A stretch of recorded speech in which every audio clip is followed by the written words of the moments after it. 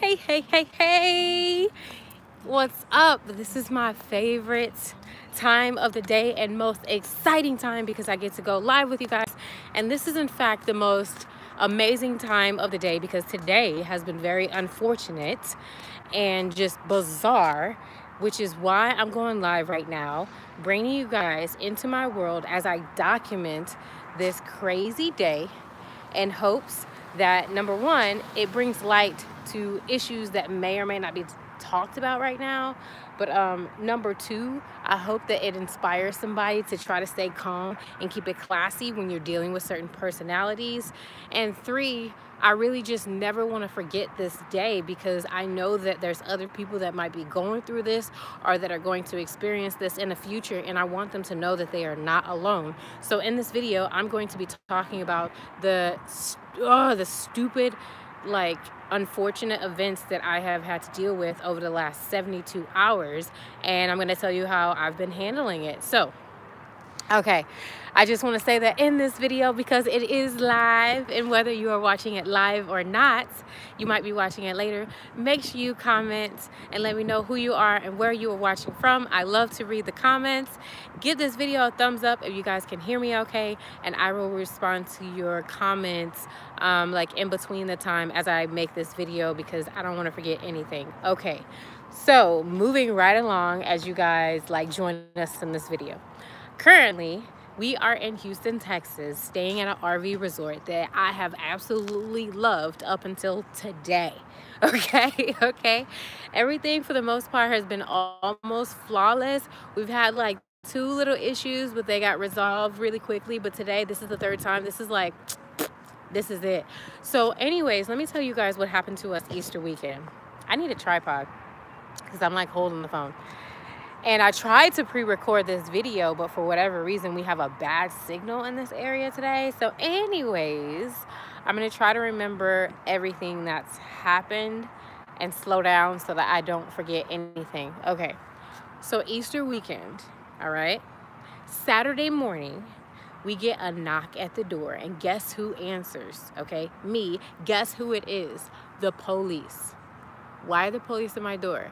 This was not my response okay when they were knocking on the door i was not freaking out i'm a good girl i have nothing to hide there's nothing to be afraid about but it's just weird right i'm on the phone with a client okay i'm doing a conference call and i'm opening my door and there's an officer talking to me. Do you know how embarrassing that is?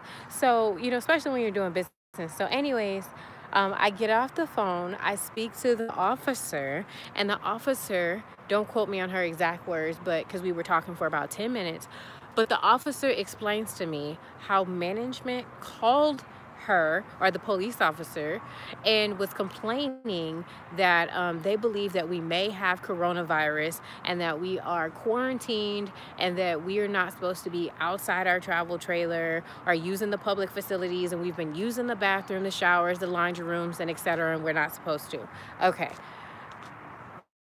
ridiculous okay first off let's take things a little a couple steps back let me give you guys some history two weeks ago, as of today, we traveled to California to get some really important documents. We put this trip off for so long because of all the craziness that's going on. But then when we realized that we're going to be stuck here in Houston for a while, we decided, okay, we need to go to our storage shed to get our birth certificate, our social security card, things like that, because we're probably you know gonna end up like texas residents. And so anyways me being the friendly person that i am and everybody here loves me so i thought okay they all come over to our RV spot. They're always talking and engaging, asking us what's going on. Everybody is like always wanting to know and be all up in our business. And like, I'm a social, super social person. That's fine. I invite people over. This was pre-pandemic, okay? Invited people over. We would have fires. All the kids come over to our place. I cook for all these kids. We just have a ball, you know? And so anyways, before I left, I notified only a few people that we are going to be traveling to California. And the only reason why I even said something is because we were leaving our van. We had to get on a plane and times are crazy. And I didn't want anybody panicking or being paranoid if we didn't answer the door when they knocked. Okay, it's a real small community here, and people talk, and I knew that people would notice if they didn't see us for a couple days. So, anyways, let me tell you guys, it gets worse, like times two, okay? And I'm about to spill it all in this video. Feel free to share it too with whoever you want to, because like after this, let me tell you something. I don't want anybody in my audience ever staying like in any resorts or any properties from this company after what happened today okay so anyways moving right along in a nutshell, with the police knocking at my door, they went back to management and explained to them that I'm not doing anything wrong. And then, yes, that there is this mandatory quarantine for anybody that's like traveling and so forth. And let me tell you, like I said, this was not a leisurely trip, okay? We literally had to go get birth certificates, social security cards, all these things that we have in our safe that we do not travel with, okay? Because reality is hitting. We're all gonna be in the same spot wherever you are for a while. So, anyways, um, we've been abiding by the you know the quarantine we've been just like staying here in our own little element not bothering anybody okay minding our business okay why are the cops being called on me because I'm walking my dog? And then they lied on us and tried to say that we're using the public facilities, even though there's nothing wrong with that. We live here. I pay hundreds of dollars to live here they lied and said that we were using their facilities. Um, excuse me, ever since we got our travel trailer, we have not needed to use the public showers. I didn't even do laundry since I've come back. Like, it was only up until two days ago that I did laundry, the same day that the officer came to our door. So, anyways, the officer made it very clear to management that we didn't do anything wrong. So, I don't know if they got mad or whatever, but let me explain to you guys. This was so embarrassing so embarrassing. And the reason why is because the cops were at my place for about 15 minutes and it's a small little RV park and all the like not all but like a lot of the residents they were driving by real slow trying to figure out what's going on. And then of course they're going to talk right? There's only one of two black well I'm only I'm one of two black families at this RV park. And the cops are at our door you know that don't look good, right? I don't like drama. I don't welcome drama. This was completely unnecessary. Okay.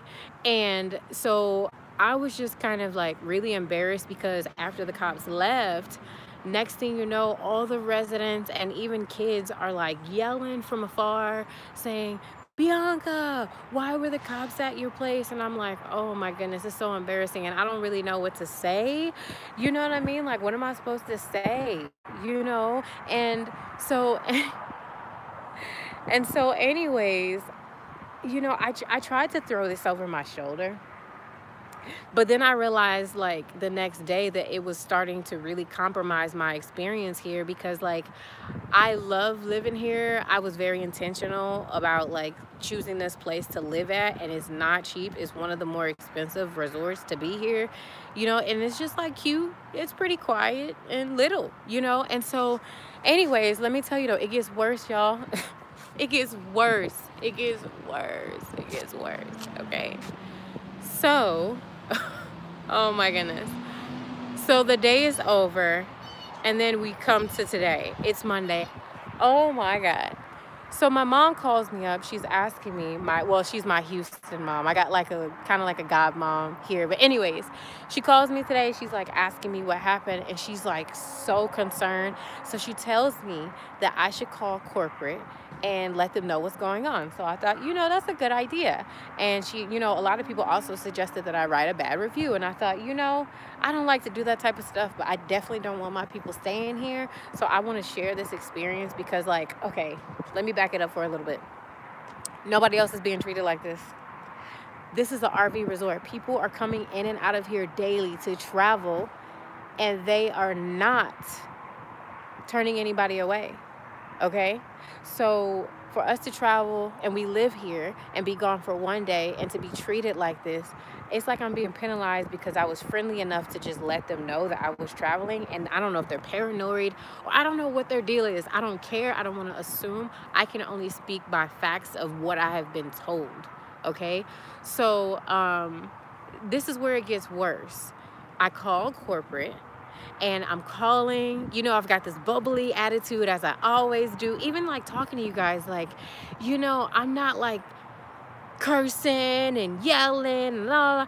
So anyways, I call corporate and I'm like, hi, I just want to let you know that I've had a really great experience here up until today. I want to bring something to your attention that's made me feel a bit uncomfortable.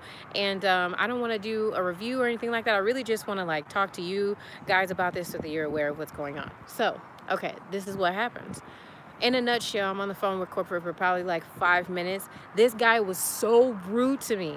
Okay, he had the worst attitude. He was coming at me and communicating with me as if like um, everything he had heard because he had knew about the issue before I called, and he was communicating with me as if like he believed whoever made up these stories about me like number one using the facilities that I haven't used even though that's not against the law and number two, um, as if I had some symptoms of the coronavirus, like I've been coughing, sneezing, or like having gatherings at my place lately, or like company or whatever. Like there is no reason, zero reason why this should have happened to me. Like it was just like bizarre, right? So anyways this is where it gets worse. The guy's like i can't do nothing for you. Um, we're gonna do whatever we want and whatever we can to protect our residents and when you know you're putting people at risk. And i was like what do you mean? I was like wait a minute. He's like yeah. He's like now you're getting mad. And i was like i'm well i was like i'm concerned because the way that you're talking to me it's as if um, you know you believe the rumors and that makes me worried because like i didn't say this stuff and also I don't like the way I'm being treated. So anyway, he's like, I can't help you. I can't do anything for you. And he's like, this conversation is ending, right? And he hangs up on me. But wait, it gets worse. It gets worse. It gets worse. A couple hours later, I get another knock at the door. Oh my goodness. And let me tell you, huh, thankfully I got this one recorded. Mm. Okay. So um, I get a knock at the door. Mind you, let me tell you, this is how my morning went. I woke up really early. I woke up pretty early. I called corporate um, about 8 o'clock because that's when I figured that's when they open, right? After I got off the phone with him, I knew, like, I didn't want to leave because I really love staying here, right? And people were saying that I should leave, and I was trying to figure out what to do, so I decided to pray about it. I wanted to practice discernment, and literally, so I just laid there. I closed my eyes. I just tried to relax, and I just said, I'm going to practice practice discernment and figure out what I'm supposed to do, right? I'm gonna feel it out. So I end up falling asleep. I wake up to loud banging on the door. Mind you, I've got the screen door open um, because I, I like to have fresh air in the morning. So like I hear banging at the door and I'm like, who is it? Nobody, nobody said anything. So I say again, I'm like, I wait because I'm like, maybe I'm tripping. I'm like, maybe they're banging on somebody else's door and it's just that loud and I can hear. No, they start banging on it again. So then I'm like, oh my goodness, at this point, I'm worried because I'm like, why is somebody banging on my door like this? My head starts hurting because I'm like in shock and I don't have on any clothes. Like I'm under the sheets. My son is awake. He looks out the window. He goes, oh, it's the boss lady. So I'm like, oh, okay. I'm like, can you tell her that I don't have any clothes? And, you know, can you tell her that I don't have any clothes and can you ask her like what she what she needs? He goes the door. This is where me, as I'm getting dressed, I peek out the window, which you'll see in the video that I am going to share because I'm going to post it. Um, she peeks, you know, I peek out the window, you know, she's there. Let me tell you what this lady says. She asks Carter, she goes, where's your mama? all right this is this this white lady she asked carter she's like where's your mama and carter's like oh she doesn't have on any clothes he and um you know i think i don't know if he said can you come back or something like that but this lady said i'll wait like really like come on like it's your off day. Why are you bothering me anyway? Especially if you know what's going on in the world. Why are you showing up at my door? Why are you at my home? And you know everybody's quarantined. Why are you knocking at my door? Aren't we supposed to be social distancing? So, anyways, I put on some clothes. I answer the door. I'm super tired. I'm in shock. I'm like practically stumbling. I'm like, whoa, whoa, whoa, whoa, you know, what's going on? And the lady's like, you tell me. And so, anyways, I'm just gonna play the video. Y'all are gonna see the video when I get a chance to upload it because like something weird is going on right now in the RV park. Like all of a sudden I can't get service. I don't know why. But um, I'm gonna post that video like as soon as I can. But it's 10 minutes long. I recorded the entire conversation. Um, I don't I'm not sure if they're aware that I was recording, but I was in my home okay? And, um, you know, I was in my home. And so, you know, it was just ridiculous. And even in the video, you can hear them cursing. Okay, you can hear them cursing. Um, they're telling me that what was told to me is BS. And like, they're upset with me because I contacted corporate and told them, like, hey, the police showed up at my door and, like, you know, blah, blah, blah, blah. And so, anyways,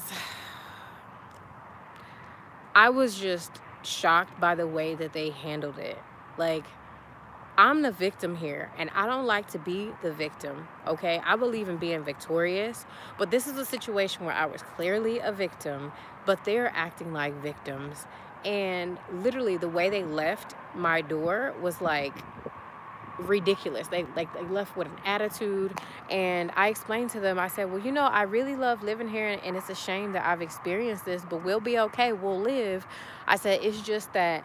you know we're so friendly here and we have a very public life but i just I, I, just can't believe that we just got penalized and somebody here lied on us and i have zero clue who it could be and then i asked them and, and then the guy cut me off and he said why does it matter why does it matter? Because I want to communicate with whoever has this misunderstanding because I find it really hard to believe that somebody's coming after me. That's why.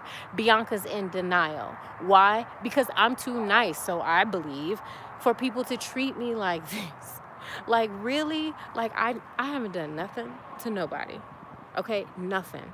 So, regardless, I realized today so I don't I don't like to think negative and I was debating on what to do but I think that the best thing for us to do is just to like handle our business. Rent is already paid. Let me tell you, I pay my bills on time. Okay, my rent is already paid for the month. And so we're just gonna shop around and look for a new place for us to go because like it's just not okay. You can't treat people like that. And I'm so glad that I got what I got on camera because this is a situation that even even in my in the back of my mind i don't even believe it. But the way these people were talking to me and communicating with me when i was just telling them what the officer said when she came to my door it's just not okay. You don't treat people like that. Like for the situation i've been in i would have really appreciated if management would have been like just more like oh i'm sorry that this happened because they claimed that a resident called and that they didn't call.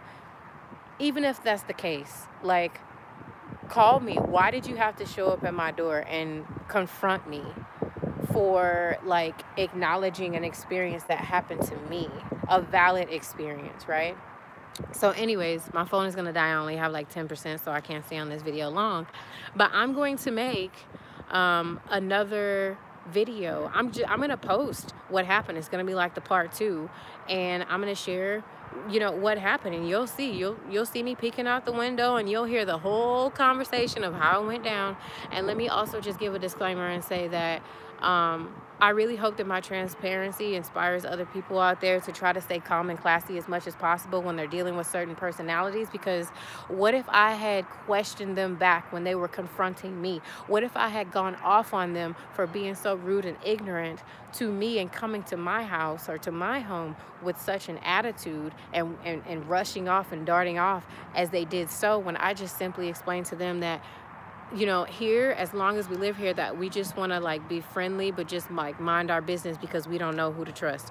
Soon as we said that they like got an attitude with us you know or, or with me for saying that and I, I mean you you guys are here in the video. You'll see. Like i'm not going off on them. I'm not cursing or anything.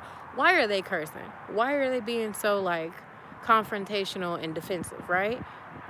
Like but you guys didn't call on me like so anyways um, i hope this video and my transparency really just inspires other people to like not feed into other people's negativity as much as you can like avoid it. Please do. Because when you're trying to do good out here in the world and when you're trying to do things that are going to help other people i'm telling you that the enemy the devil like just negative spirits whatever you want to call it they will do anything and everything to try to distract you. These people will come off as the sweetest and the nicest people. Let me tell you i believe i like to see the good in everybody. And these people have been so like like they've been really nice but at the same time like if anything go wrong they like pit bulls. Like they would not allow me to park my van in front of my site after i got my travel trailer and but that's another story. Um, it got resolved later but um, but anyways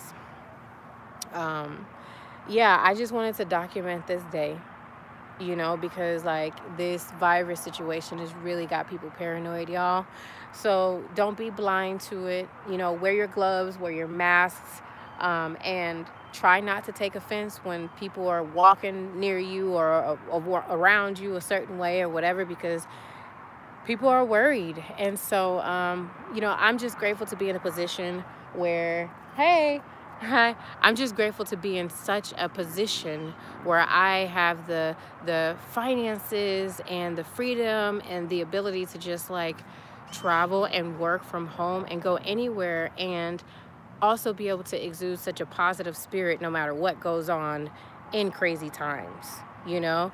And so, um,